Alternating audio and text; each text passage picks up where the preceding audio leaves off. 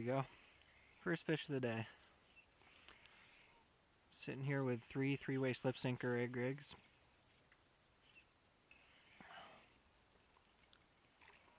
Got a walleye. I'm just working uh, worm, worms on him. Oh, there he goes. Alright. First fish today that's not going to fall off on shore.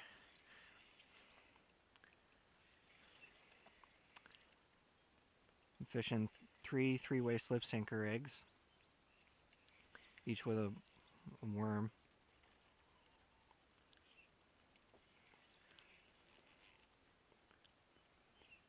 This guy's getting all tangled up. It's a bullhead. Nice.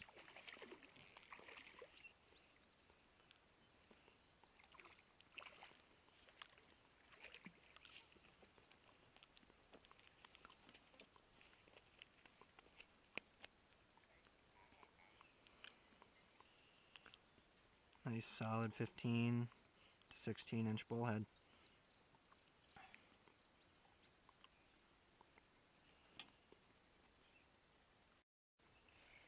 Here's another one. Feels like another bullhead. Bullheads fight pretty hard and they do a lot of spirals.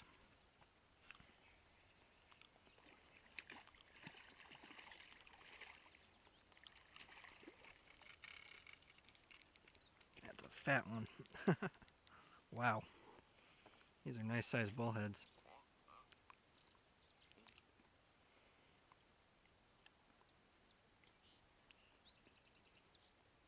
Solid fish.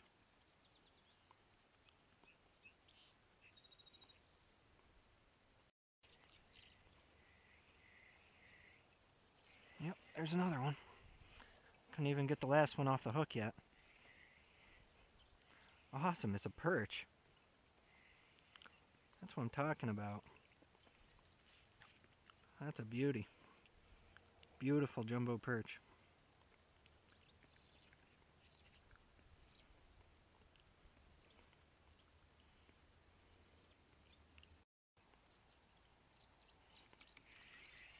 There's one.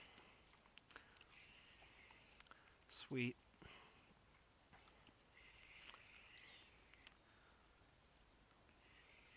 Feels like another bullhead. There's always such nice quality bullheads here. 15, 16 inches aren't rare. They're pretty common. You know, you get you get 12 to 14s too, but pretty even mix of both. No, I don't want that. Not under the...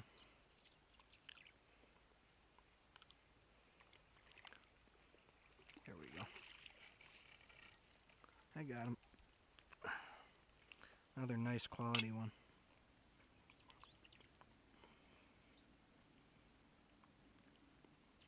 That's probably right around 15 inches. The other ones were 15 or a little more.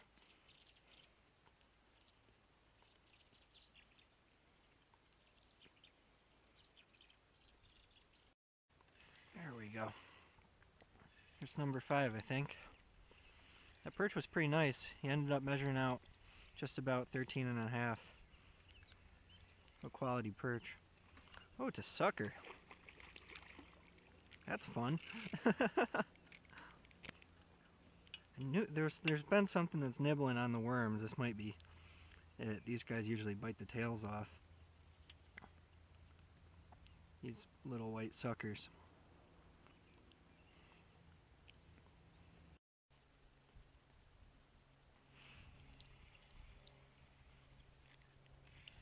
There's one. Little guy. Little something. Oh, a dinky fallfish. That's pretty neat. Catching rough fish and panfish.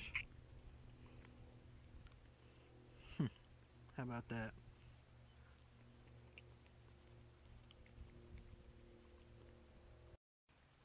It was a quick start, but a real slow finish. Haven't had any fish on in hours. So I'm walking out with this nice perch and a few jumbo hornpout. Nice meal for two.